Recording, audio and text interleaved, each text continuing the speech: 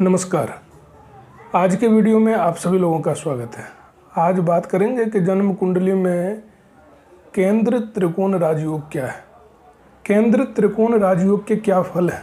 और जन्म कुंडली में केंद्र त्रिकोण राजयोग को देखते कैसे हैं? केंद्र की बात करें तो जन्म कुंडली के चार भाव।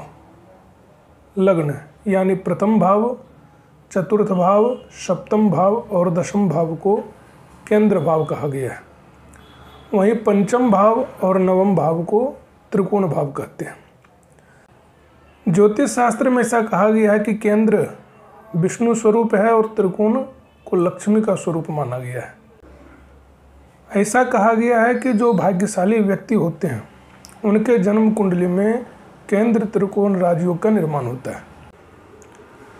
जन्म कुंडली में लग्न चाहे जो भी हो मेष लग्न रहे, वृषभ लग्न रहे, मिथुन लग्न रहे, जो भी लग्न हो, त्रिकोण के स्वामी लग्नेश के मित्र ही होते हैं। केंद्र की व्याख्या करें तो ये चार भाव व्यक्ति के जीवन में बहुत ही महत्वपूर्ण भाव है।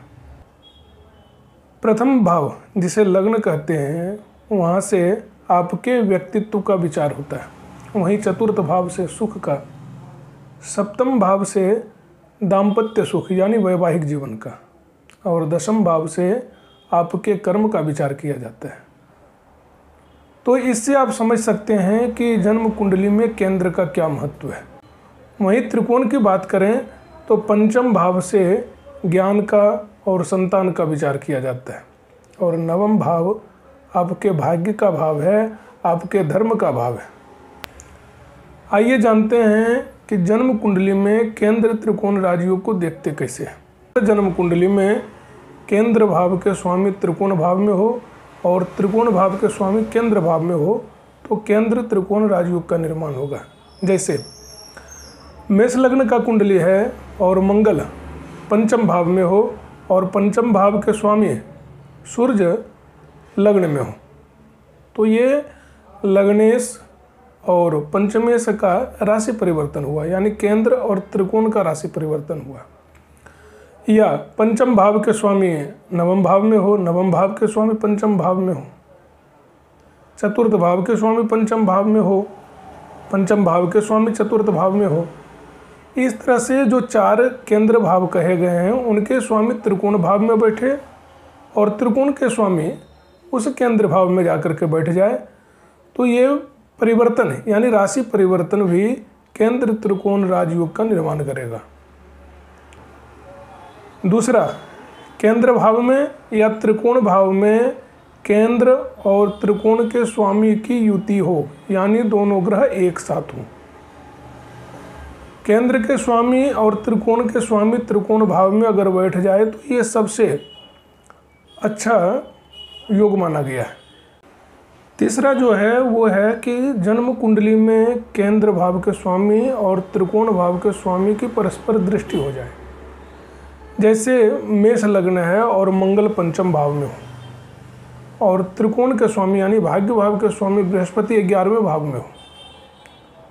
तो ग्यारहवें भाव में बृहस्पति की सप्तम दृष्टि मंगल के ऊपर और मंगल की दृष्टि बृहस्पति के ऊपर।